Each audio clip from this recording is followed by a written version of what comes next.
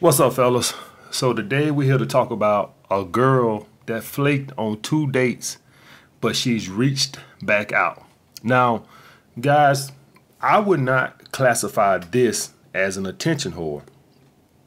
I would classify this as a girl who either had very low initial interest or didn't have any initial interest. All right, guys. Uh, an attention whore is like this, guys. She has low interest, right? But she keeps wanting to communicate. All right, so she keeps. So you let's hypothetically say you got a girl, you got a number. What an attention whore do is she keeps wanting fucking attention. All right, this girl here, he had when he stopped communicating, he didn't hear from her no more. So in other words, he was reaching out to her. She wasn't reaching out to him. An attention whore reaches out to you. Hey, how's your day going? It's going great. When you free to get a drink? Uh, can I check my schedule and get back with you? That's an attention whore. A girl who has low interest, you'll get out, you'll reach out to her to pursue her to want a date, but she won't set a date. This is a girl with low interest who didn't want to hurt your feelings. All right. And this is different from a girl who does a pullback. A girl who does a pullback had interest and through your needed behavior or female manipulation, she's pulling back. All right, this girl here, you never had nothing with her to pull back from. All right, so her interest is, was very low from the beginning. All right, so I wouldn't classify this as an attention whore because she never reached out to pursue you. All right, you did all the pursuing. Attention whores, they reach out to pursue you. Hey, how your day going? They do every fucking thing but set a fucking date. All right, you see the difference between an attention whore and this girl here? So this is a girl who had lower interest. All right, so here's the thing, guy. You walked away. He showed high value by walking away, not pursuing, and that raised her interest. All right, so she's reached back out to him on social media, whatever the case may be or she could have heard something, guys, or saw something. What did I tell you guys before? When women see you with other women or hear about you being with other women, that raises your attraction level to them. All right, so she could have saw something. She could have saw something on social media. Who the fuck knows? A lot of women run background checks, and what I mean by background checks, guys, is they'll go to asking their friends, "Hey, you heard of this guy? You know this guy, such and such, such and such." I had a girl one time. I this years ago. This like when I was like 21. Uh, wouldn't give me the time of day in the club or whatever the case may be. Here is a month now she in the club giving me choosing signals. Probably because she heard that I probably fuck a bunch of bad bitches, whatever the case may be whatever the case was, she heard something because now she's in the club giving me choosing signals, guys. So she either heard something or saw something. So and to her, my sexual market value had went up. And sometimes this happened, guys. So sometimes you guys will have these flaky women with low interest and you show high value by walking away and they will reach back out. Now, how I handle the situation like this, guys, is when they reach out and stuff like this, I let them do all the fucking pursuing. I I I let them do all the fucking pursuing. So she might ask you a question. So hey, how's your day going? I'd be like, oh, it's going all right. I got a little paperwork to do or whatever the case may be, and I won't even ask her a question back. All right, so I don't want to sound butthurt. It's going all right. Uh, just gotta, you know, I don't want to sound like I'm fucking mad because she, you know she ain't want to go out with me the first time. But no, we ain't finna sit up here and carry this chit chat like we best fucking friends either. All right. So I answer a question. Oh, it's going all right, man. Just got a little paperwork or whatever the case may be. Went out last night a little tired and shit. But other than that, everything is great. All right, and I leave it at, let her ask another question. I'm not finna do no fucking pursuing. I'm not even finna ask her no fucking question or nothing. All right, because this, here's the thing, guys. Her attraction level in you has went up now make her do all the fucking chasing. All right, that's how you do that. I actually, I'm up in Atlanta. I actually got a case of a attention whoreitis right now. I got a girl that's an attention whore. I asked her. We went out, had drinks the first time, whatever the case may be. Had a good time. She does all the pursuing she reaches out to me. It's not like I'm reaching out to her. When she reached out, I said, hey, let's meet up and get another drink or whatever the case may be. She claimed that she got to check her schedule, whatever the case may be, and she might be free or whatever the case may be. I said, cool. She hit me back up the next night or whatever the case may be. I didn't respond to it. I saw it. I didn't respond to it. I was with my friends. I could have responded to it, but I was like, you know, this bitch talking about some she got to check schedule. So I didn't even respond to it. I responded to it the next day and I was like, hey, I was out with my friends, whatever the case may be. And she like, oh, I was available last night. Bitch, You think you can hit me up at nine o'clock at night and I'm just not doing nothing. You gotta get on my goddamn schedule. This bitch had the out there. What the fuck? You know, I just wonder about women sometimes. Who the fuck does she think I am? Chopped liver? You think you can just hit me up nine o'clock on Saturday night? What the fuck you think I'm in the house doing? Watching Mama Family reruns? I the audacity of some women. So let me get this straight. You didn't set your ass there and waited till you exhausted every revenue of entertainment. So I had to make sure no dude that I'm fucking wanted to do nothing. No girlfriends wanted to do nothing. No co-workers. Okay, I'll get back to him. Let me see if he doing anything right now. Y'all guys see that shit right there? Now, if I was gonna be in Atlanta long enough, I could fuck this chick. I'm not gonna be in Atlanta long enough, but I know exactly how to fuck this chick. I, I know exactly how to fuck this chick. And basically, what I would make her do is, she just actually text me right before I cut this uh, camera on. Uh, happy Monday. Just now, before I turn this camera on. And of course, I'm gonna wait four hours to respond to it. But I know exactly how to fuck a bitch. All you gotta do is make her do all the fucking chasing. Don't ask her no questions.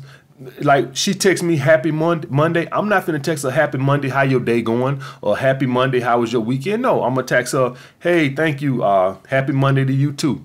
All right, I'm gonna make her do all the fucking chasing and pursuing. Now, I'm not gonna be in Atlanta, so worst case scenario, I'll tell her she got to come catch a flight to New York. All right, if she ever asked to want to see me or something again. Basically, how you do a girl like this, guys, is your pursuit is over. All right. If her interest in, if she done flaked on you twice, or you done asked her out, and she, I gotta check my schedule. Who the fuck you think you is? President, the president of the United States? Who the fuck? I gotta check my schedule. Are you fucking kidding me? Yeah. Guys, listen. I'm a, I'm busy as shit, but I can tell you right now which nights I got available. Ain't nobody that fucking busy. Who the hell? Oh my God, my head hurt. Who the hell do you think you is? Guys, y'all know how busy I am. I have Skype sessions. I still do training. I have a security company. Y'all see all this shit I got going on. And yet I can tell you right now, okay, I got this evening available, that evening available, that evening available. I know exactly. I don't have to check my schedule. Then audacity, if you say you got to check your schedule, once you have to check your schedule, let me check it right now no, uh, let me check my schedule and I get back with you in a couple days. So guys, when you run into women like this, attention whore or girls who flaked on you and they interest has went back up or whatever the case may be, let them do all the fucking pursuing. Do not ask them out and do not ask them no questions. All right. And matter of fact, even if they asking you a bunch of questions, after about three or four of them motherfuckers, say you got to get back to work. All right. Eventually, she'll say something like, "So when we gonna get together and see each other, man? I'm so busy with work and shit, man. Uh, how about you come over for a drink?" And see, here's the thing, guys. By you not doing the pursuing, now she got to fall in line with what you want. That's why I don't want you doing no pursuing. So, a girl, this girl who I'm talking about in Atlanta, eventually, what would happen by me not doing no pursuing? Eventually, what would happen eventually she would come around and say, "Hey, so when when I'm gonna see you again? When we gonna get up again?" And I would say something to the effect of, "Man, you know, I got a lot going on. You can come over and have a drink or whatever the case may be." She has no power to say no. She's been doing all the pursuing. So the guy that sent me this email, do not do no pursuing. Make her pursue you. Don't even ask her no questions. That's how you handle women like this. Flaky or attention whore. Even the fucking, uh, I told you guys, even about the pullback. Any of these things right here, guys, do y'all know is a common theme with all these fucking things? It's about fucking power and control. All right. It's about making a woman in the weaker position. It's about putting you in a position of strength. It's about putting who's ever pursuing who is in the weaker position, guys. It's about putting you in this position of strength. All right. If she's pursuing you, you're in a position of strength. All right. That's why I don't want you asking her out. All right. If I probably asked her out again, she probably would say, I'm not going to do that because I want to be in a position of strength. If I ask her out, then now she's got the, the power to say, well, let's go, let's meet out for a drink. If I let her pursue me, you're going to come over here and we're going to do what I want to do. So I want to be in a position of strength, guys. All right. So that's how you handle any of these girls, guys, guys. That's how you handle any of them. You let them do all the chasing and all the pursuing. Don't even ask them questions. All right, guys. And I had another good guy, another good question. The guy said, "Man, why your book so cheap?" All right, so this is a, a business question, guys. Let me tell y'all guys something, man. Cheaper always win the race. Always. All right. First of all, you need to know your audience. That's business one on one. Who are you marketing to?